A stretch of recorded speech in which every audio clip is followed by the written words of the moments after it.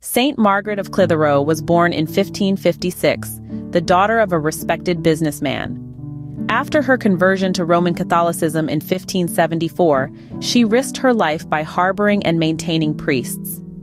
Margaret's home became an essential sanctuary for fugitive priests in the north of England. In 1586, a frightened boy revealed the location of her hidden priest chamber, leading to Margaret's arrest. She refused to plead, sparing her children from testifying. Despite being pregnant, she was sentenced to death. Executed by being crushed under her own door, her death was swift, but her body remained under the immense weight for six hours. Her sons Henry and William became priests, and her daughter Anne a nun. Margaret Clitherow, known as the Pearl of York, was canonized in 1970 by Pope Paul VI. She is known as one of the 40 martyrs of England and Wales,